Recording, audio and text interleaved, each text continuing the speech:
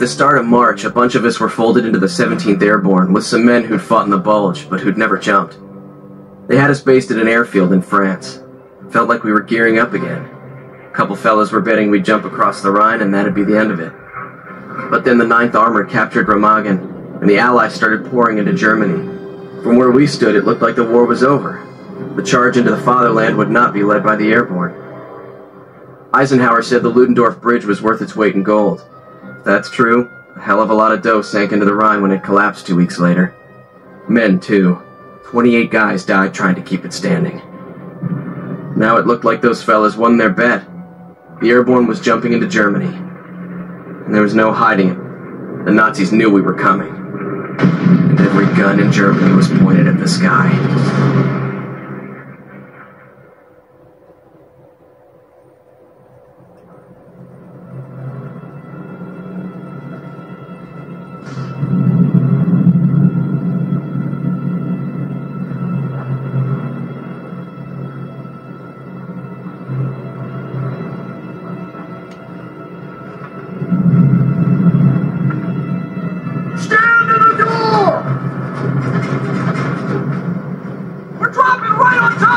Positions!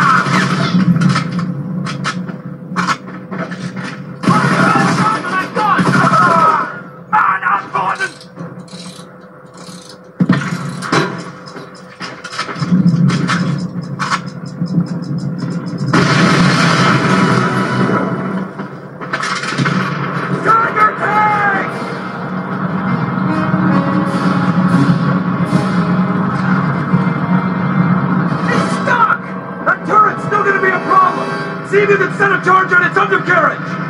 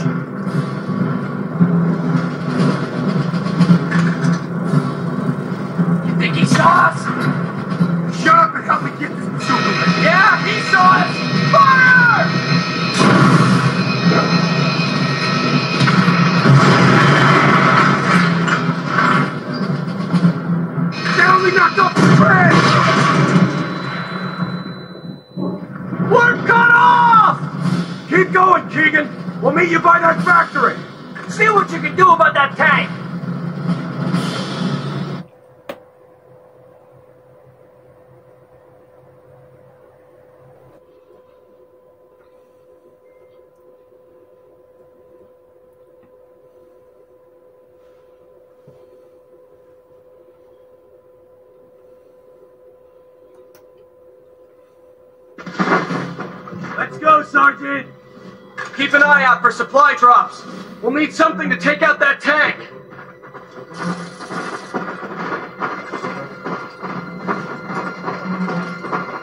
I don't like the look of this. Keep your voice down, Private. Stay in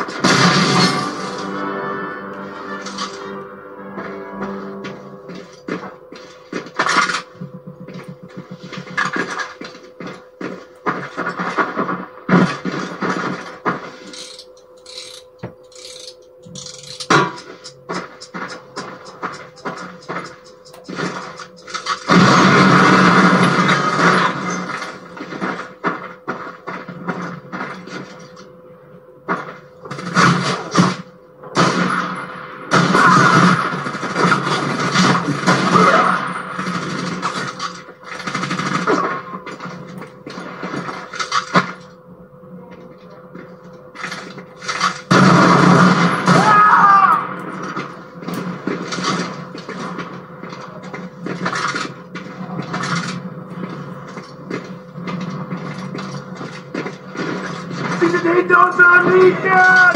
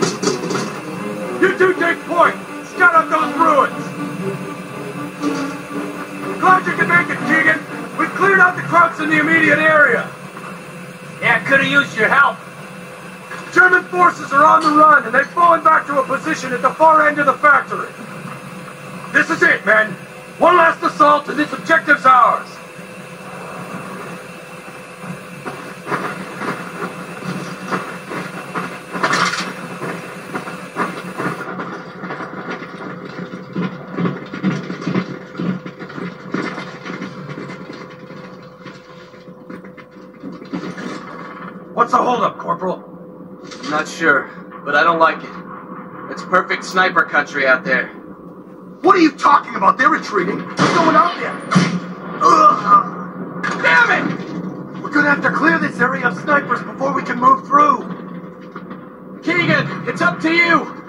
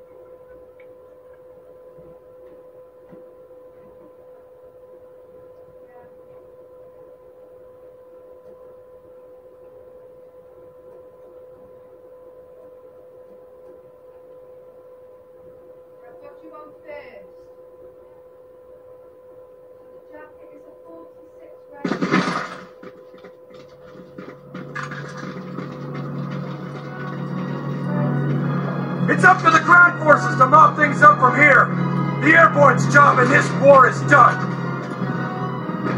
What? No wise-ass comments, Lawson?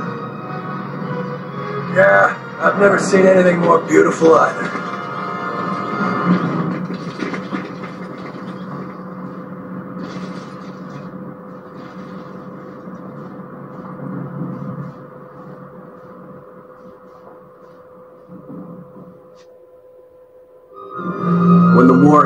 17th Airborne was disbanded.